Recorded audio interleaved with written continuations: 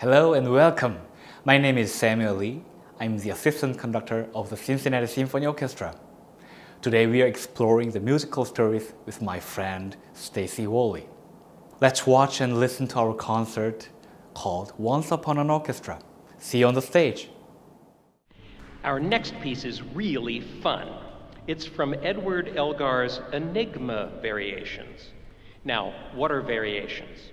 Well, the composer, in this case Elgar, wrote a melody and then adapted it, kind of changed it in subtle ways to represent all of his friends.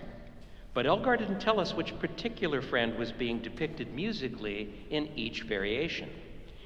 He did, however, leave us clues through the kind of odd, mysterious titles. This variation is called GRS.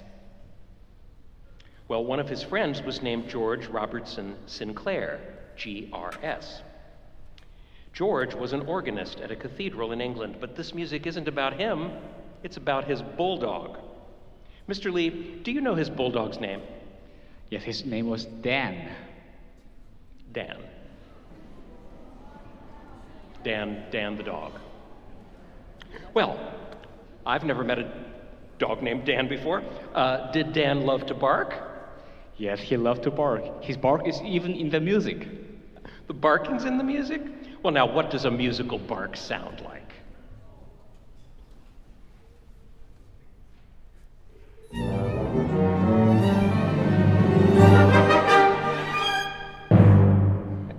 Well, that definitely sounded like Dan the dog running around, followed by a big bark at the end. So, we have our main character, Dan. Uh, where does the story take place, Mr. Lee? What's, what's the setting of the story? It's at a river.